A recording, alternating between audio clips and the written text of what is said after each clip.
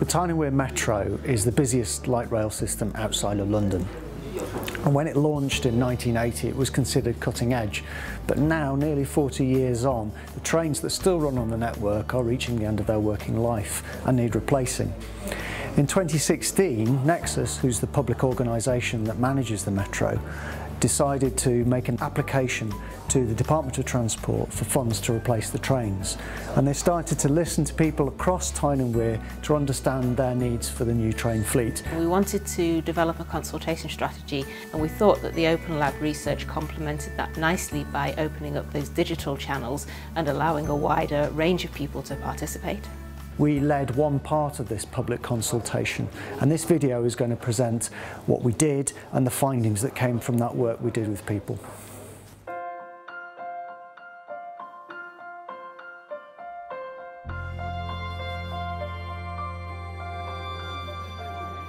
It's so important that we involve local people as much as possible so that when we start that conversation with uh, potential suppliers, we start with a big body of evidence from local people about what you want from a new train fleet. In November 2016, we worked with a group of 20 co-researchers from across Tyne and and with a range of needs relating to Metro. And we worked with local schools and BTEC students from South Tyneside College.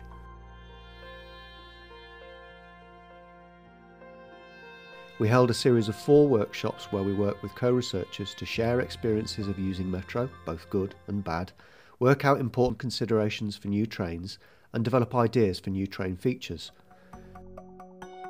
we held seven pop-up labs in public places across the region where we listened to people's experiences of Metro and got their feedback on the findings from the co-researcher workshops. So we've been asking people to watch short videos to say whether they agree with what we're suggesting is important or the wish list ideas or disagree, but also tell us a little bit more. And that's where it gets really interesting because we're getting more insights about what the pros and cons are of each of the ideas that have been shared.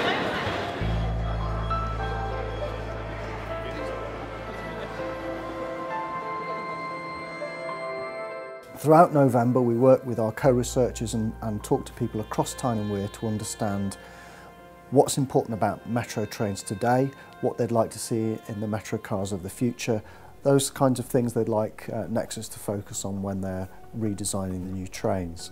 And the next part of the conversation is to make sure that's a bigger conversation and to get people to come to the website and look at what other people have shared, rate how important or not they think those considerations are and maybe leave a comment of their own.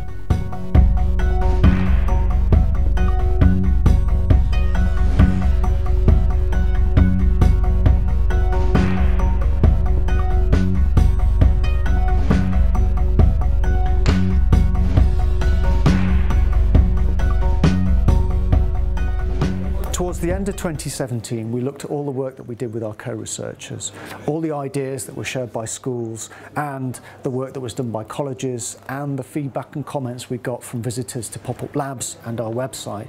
And we came up with six main points for the design of new trains. We detail those points in our final report to Nexus, but we also recognise it's important that people across Tyne and Wear understand our findings. So I'm now going to hand over to our co-researchers who are going to explain what we found out.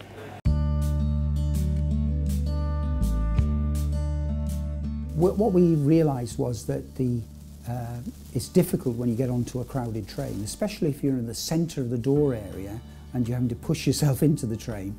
Um, that's a, an issue that uh, perhaps a more open layout would help to address. A layout where there, there was more seating around the edges, with maybe flip-up seating, which would meant that when nobody's sitting in his seat, the seat would flip up, creating more space in the centre of the car for things like luggage, for buggies, for wheelchairs, as well as more people to move down to the centre of the car when the train is very crowded. And it would also eliminate the problem of antisocial behaviour with people putting feet on seats because if you have seats along the edge of the car, that's clearly impossible. We found that the space between carriages was wasted space, so we could um, increase the capacity if we had just one long single carriage. We talked a lot about um, not having solid seating. I guess if you're a wheelchair user with a friend, nice to have a seat next to you. A bit like on the bus, you can choose to flip two up, leave one down, flip one up, leave two down.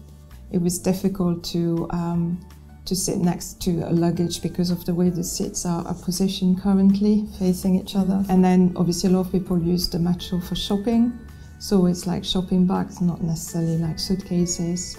On other trains, there's shelving there where you put your heavy stuff, the shelving above where you put lighter stuff, in between the seats. Yeah, on the metro, you just have it on your knee. Yeah, people were quite puzzled about that. Being able to have some space large enough to accommodate a bike would be would be great. Because it's a whole untapped bunch of people. More people then could combine cycling with a normal bike and the metro. So in the workshops we discussed a lot about the provision of real-time information. A lot of people said that it was very important to them in planning their journey and even when they're at the station on the platform. We sort of discussed how there isn't much provision for real-time information at the moment. You only really know when or where the train is when you get to the station on the platform and look up at the screen. So we talked a lot about how that information could be shared and how it could be delivered, whether that be sort of a smartphone app or through a website, or there were some more sort of creative ideas as to how that could be displayed. So there was a lot of um, discussion as well about sort of the way tickets are purchased and, and how tickets are stored. Um, there were a few ideas about sort of having an on-train Wi-Fi network that then you could connect up to using an app. And that would allow you to buy tickets, top up your pop card, or even if you forget to touch your pop card in at the station, you could do that via the app when you're on the train. So it just relieves some of that sort of uh, pressure, ad admin if you like, before getting on the train. You can do it on board. Some people talked about the clarity of the driver announcements, um, people who were um, hard of hearing especially. So there were some discussions about how this could be solved, either some sort of speech to text system that relayed the message up on the screens, or whether the driver announcements, or the most common driver announcements were sort of pre-recorded so that they could just be played off again with the, with the audio but the text on the screens as well. Yes, we talked a, lot about um, the visibility of staff on metro trains, um, especially of a night time. There really aren't that many. And it was felt as a group really that um, this needed to be addressed and we needed to see more people on the or more staff on the train. The discussion around having the CCTV um, and being able to sort of crowdsource it, share it uh, online in real time and having displays on the carriages as well. There was a lot of um, discussion about comfort, certainly about heating It's nice to have big picture windows to see out of, but the opening part of the windows is pretty small. And then when they are open, especially going through the tunnels, it makes it really noisy. So that can uh, affect your comfort.